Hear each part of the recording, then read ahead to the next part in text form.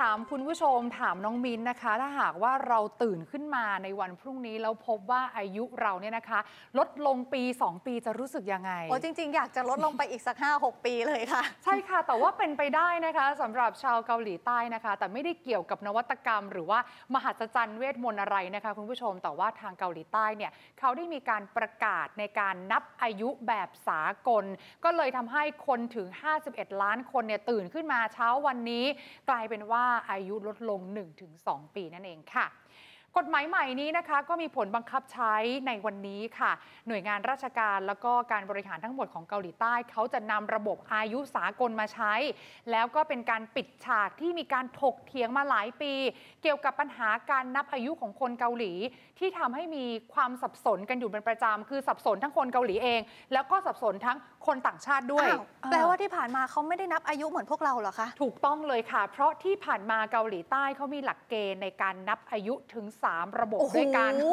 เยอะมากจริง ๆ ระบบแรกนะคะ เป็นอายุสากลเป็นระบบที่ใช้กันทั่วไป คือประเทศส่วนใหญ่ทั่วโลกก็ใช้แบบนี้ คือนับเวลาตั้งแต่วินาทีที่เราเกิดเนี่ยคือเริ่มต้นเป็นศูนย์ขวบอ่าก่อนจะครบรอบอายุ 1 ปีในวันคล้ายวันเกิดปีถัดไป ก็เหมือนเรา ใช่ก็เหมือนบ้านเราก็ใช้แบบนั้นนะคะ ทีนี้แบบที่ 2 อายุแบบเกาหลีเขามีอายุอ๋อแบบเกาหลีด้วยนะเป็นการนับอายุที่มีรากฐานมาจากประเทศจีนอ่าโดยจะนับอายุในครรภ์ด้วย คือถือว่าเมื่อทารกเนี่ยเกิดขึ้นมาก็เท่ากับว่ามีอายุ 1 ขวบแล้วโอ้โหใช่ค่ะ แล้วก็ในวันที่คลอดเนี่ยก็จะนับอายุเพิ่ม 1 ปีในทุกๆ ปีใหม่ คือวันที่ 1 มกราคมนะซึ่งการนับด้วยระบบนี้จะทำให้มีอายุ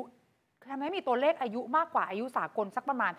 1-2 ปีค่ะเอาแต่ดิฉันยังงงอยู่นะถ้าสมมติว่าเราเกิดนะ จริง ๆอะวันที่ 29ธันวาคม ใช่แปลว่าอีก2อสวัน พี่คือปเราริจะมก็จะมีอายุสองขวบสองขวบใช่ค่ะโอ้โหเป็นแบบนั้นเลยอะทีนี้แบบที่ 3 ยังไงคะ น้องมิ้น แบบที่3เนี่ยเป็นอายุตามปฏิทิน เขาบอกว่ามันเป็นการผสมผสานมิกซ์กัน ระหว่างการนับอายุแบบสากลกับแบบเกาหลีค่ะ คือเขาจะถือว่าทารกเนี่ยมีอายุเท่ากับศูนย์ขวบในวันค่ะที่คลอดอ่าฮะแต่ว่าจะบวกอายุเพิ่มเข้าไปอีก 1 ปีทุกอ่าวันที่ 1 มกราคม โอ้โห เวียนหัวมากเลยต้องอ่านันับอายุหลายแบบขนาดนี้นะคะ ทีนี้ถ้ายกตัวอย่างก็คือสมมติอย่างที่พี่ปริมบอกเมื่อกี้ก็คือเกิดในวันที่ 31 ธันวาคมอ่าฮะปี 2020 แล้วกันค่ะเด็กที่เกิด 31 ธันวาปี 2020 นะคะ จนถึงวันนี้เนี่ยถ้านับตามหลักสากลจะมีอายุประมาณ 2 ขวบถูกไหมอ่าฮะแต่ถ้านับตามอายุปฏิทินเนี่ยจะมีอายุ 3 ขวบอืมแล้วถ้าไปนับตามอายุแบบเกาหลี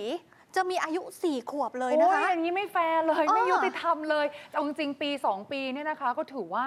เรานับเป็นพี่เป็นน้องกันแล้วนะค่ะถูกไหมเราก็อาจจะต้องนับว่าคนนั้นเนี่ยนะคะ เป็นพี่เราตั้ง 2 ปี แต่ว่าถ้าหากว่าเรานับอายุเท่ากันก็คือเราอาจจะเป็นคนที่อายุเท่ากันก็ได้อ่า ถูกไหมคะค่ะอถ้าพูดถึงเรื่องของความแก่ดิฉันคิดว่าผู้หญิงหลายคนเนี่ยโอ๊ยอาจจะไม่ยอมเหมือนกัซีนนะเรียสนะคะ ใช่ค่ะค่ะอะทีนี้รัฐบาลก็ระบุอย่างนี้นะคะ คุณผู้ชมว่าแม้จะมีการกำหนดมาตรฐานใหม่ แต่เป็นการกำหนดหลักเกณฑ์การนับอายุในทางกฎหมายเท่านั้น แต่ในบางกรณีเนี่ยอาจจะต้องใช้หลักเกณฑ์เดิม เช่น การรับเด็กเข้าโรงเรียนประถม เมื่ออายุ 6 ขวบ การจำกัดอายุการซื้อขายผลิตภัณฑ์แอลกอฮอล์หรือว่าบุหรี่ แล้วก็การรับราชการทหารภาคบังคับที่จะอิงตามปีเกิด โดยไม่คำนึงว่าจะเกิดเดือนไหนปีไหน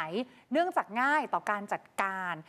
คือเราอาจจะคิดว่าเรื่องนี้เป็นเรื่องที่เราไม่ได้สนใจ เพราะว่าบ้านเราไม่ได้มีปัญหานะคะ แต่ถ้าหากว่าคิดในระบบราชการ การรับเข้าราชการ การเข้าโรงเรียน หรือว่าการที่จะมีสิทธิ์ต่างๆ คือมันต้องจำกัดอายุว่าอายุเท่านี้ถึงจะมีสิทธิ์อย่างนั้นอย่างงู้นอย่างนี้ใช่เออบางทีเราก็อายุไม่ถึงหรืออายุเกินไปมันก็อาจจะไม่แฟร์สำหรับคนที่